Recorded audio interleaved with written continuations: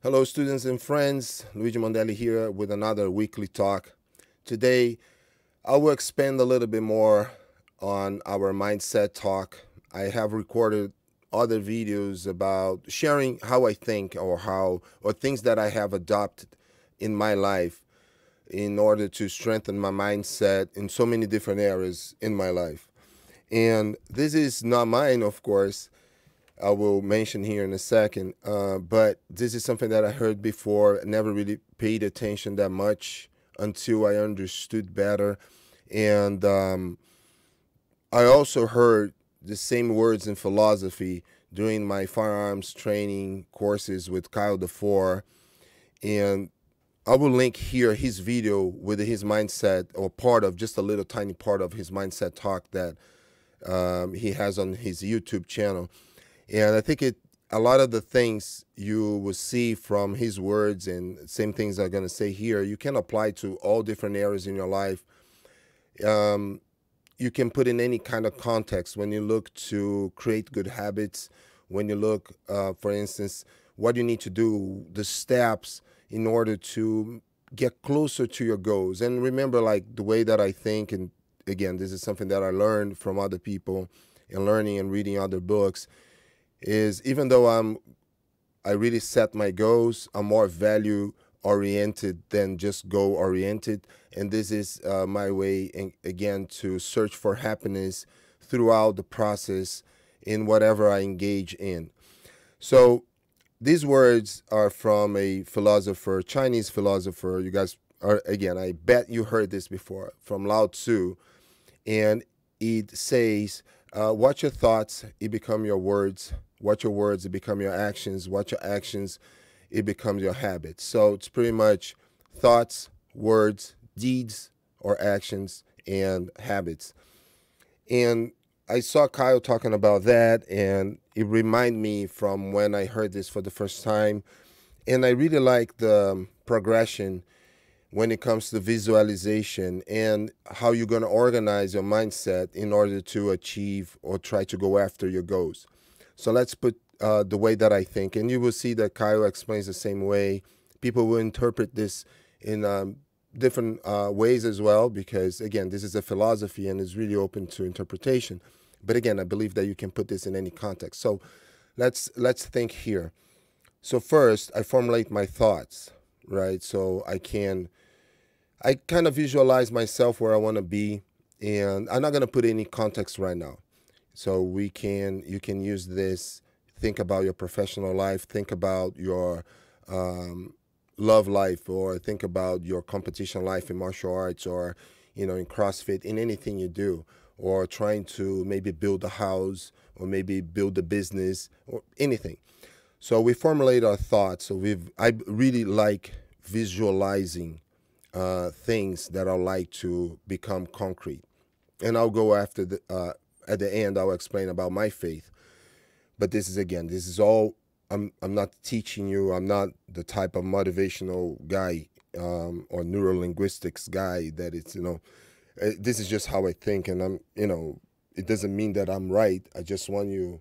I just want to share with you, but I will think, formulate my thoughts, see where I want to be or my goals in that situation, and I put this into words.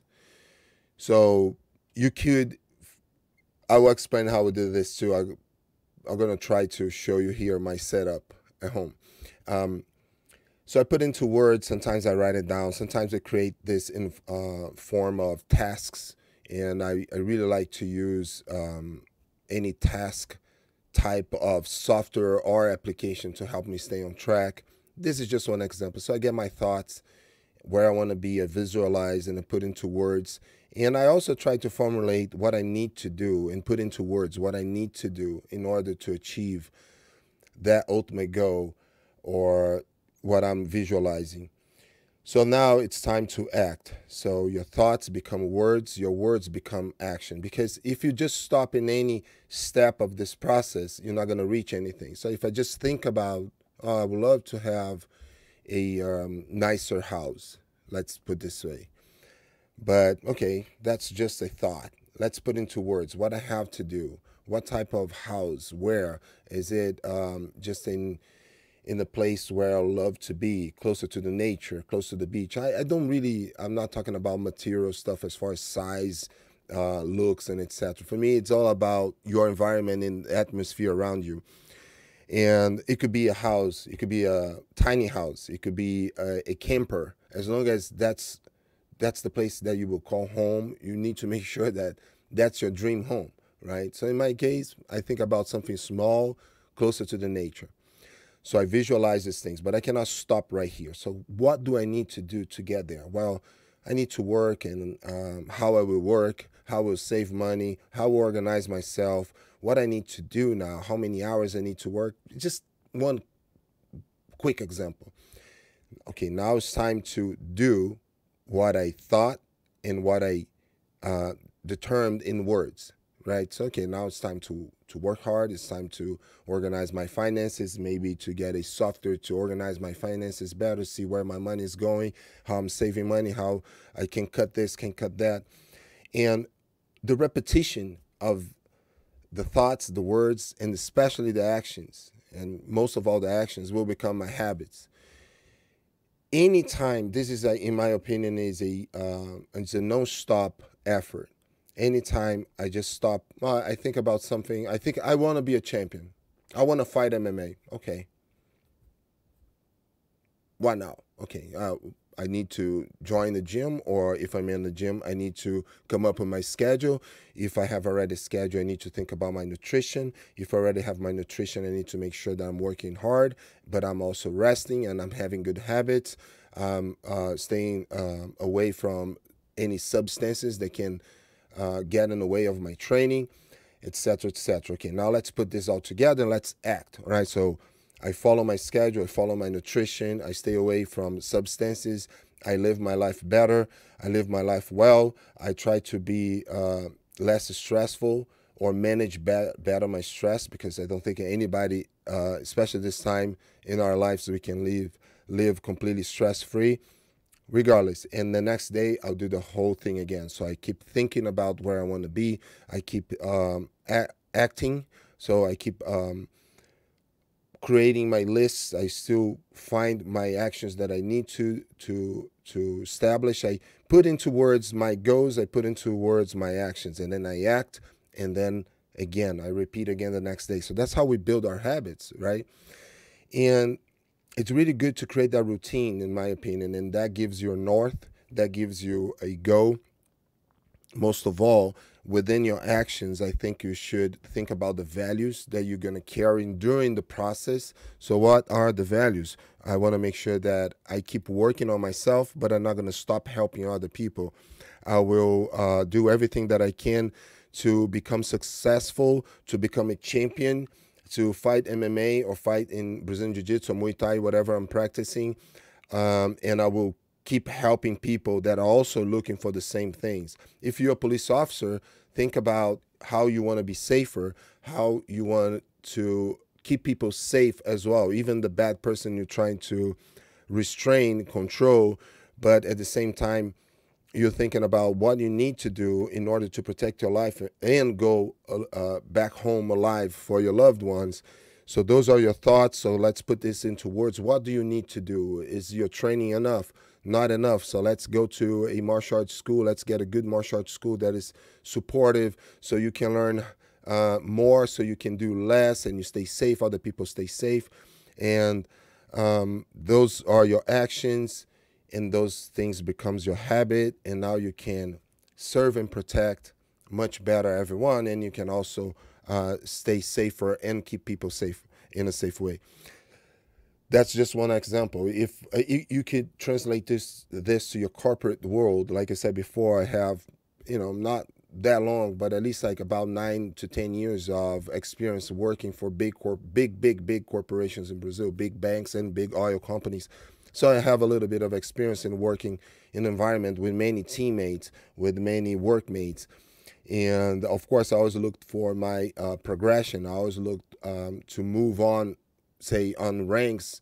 I was a I started as a junior uh, programmer and I finished as a senior assistant analyst in a big company. And I was in the last um, the last step in the you know within the layers in you know my hierarchy uh, chain.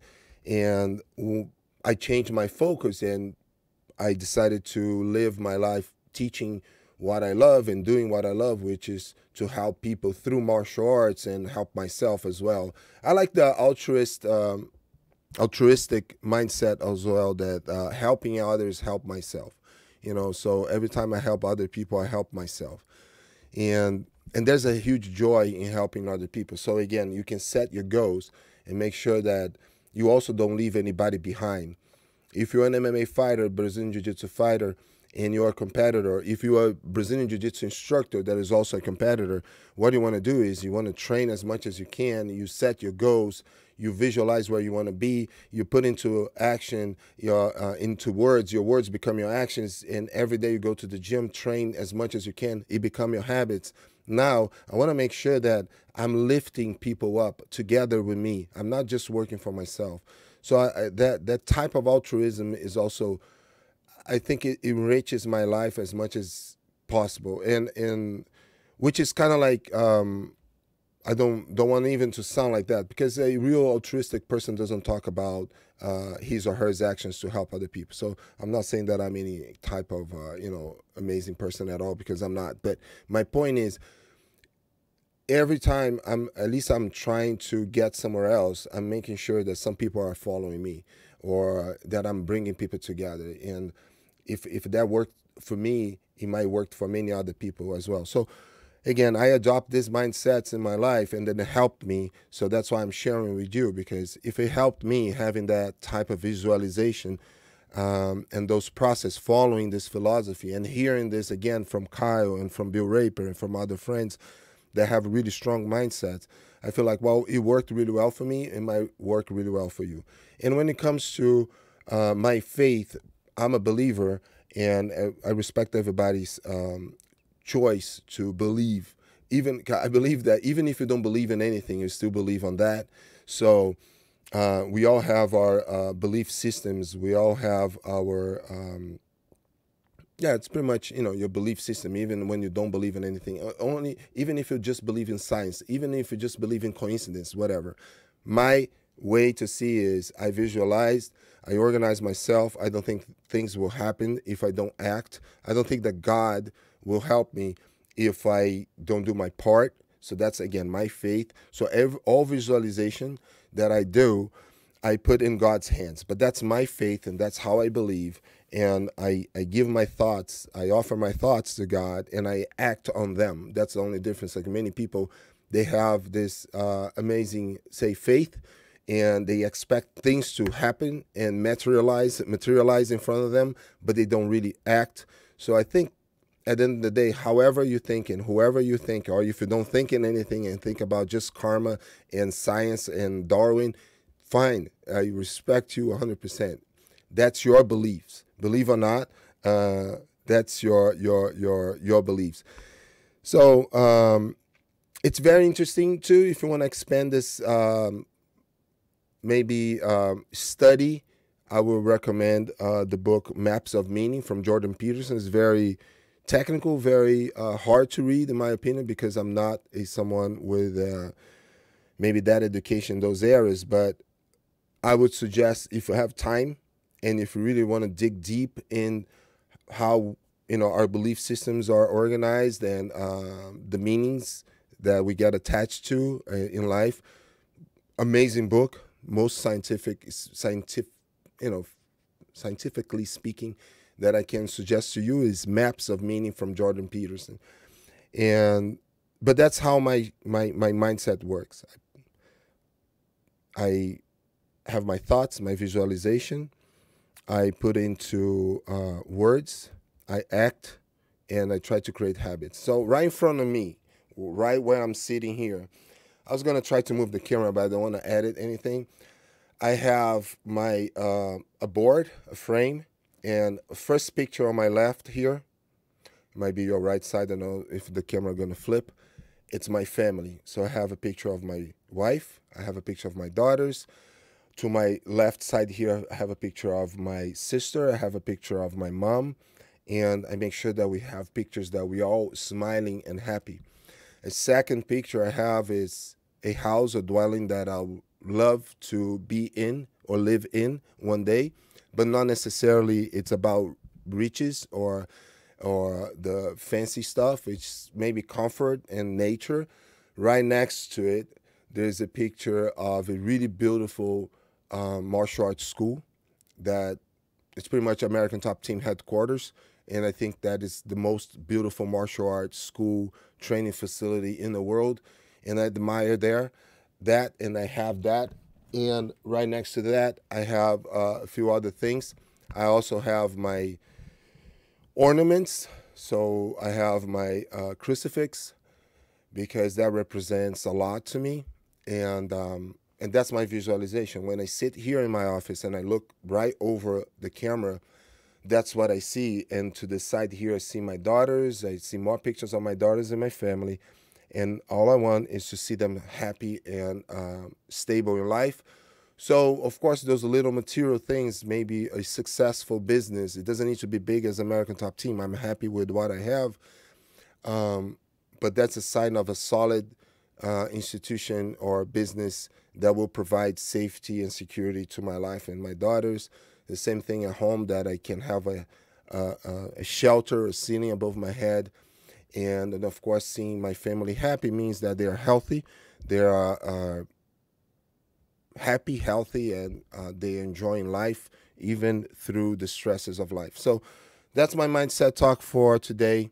Uh, try to create good habits, try to get rid of bad habits, which it could be anything that makes you addicted some way, one way or the other. It could be your social media, it could be your cell phone. Reevaluate your um, opinions and uh, all the time. I really believe that we have to always be challenging our thoughts. I changed a lot, like I said. This is something that I'm going to start recording more for the Gray Matter Project. Many things the way that I used to see. What I'm fighting now in my life, because I think we have to pick our fights. We cannot fight. So there's a flavor of the month right now, or a couple uh, I don't need necessarily to join them to support them, and I have my other fight.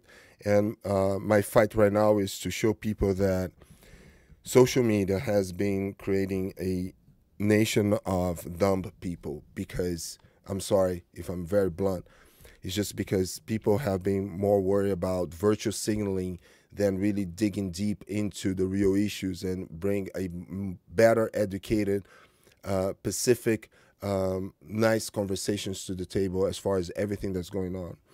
But let's do our part. Try to organize your life. Again, what your thoughts, it becomes your words. What your words, it become your actions. What your actions, it become your habits. Don't forget that this is going to work the other way around as well. So if you, um, if you have bad thoughts, and you put this into bad words, you're going to have bad actions. You're going to create bad actions, and these bad actions will create your bad habits. God, God bless you all, regardless if you believe in God or not. I'm still gonna wish you well, everyone, even my enemies. I don't know if I have enemies. I don't know why people would consider me an enemy, but we cannot please everyone, and that's the price of being authentic. All right, guys, thanks so much. See you on the mats soon.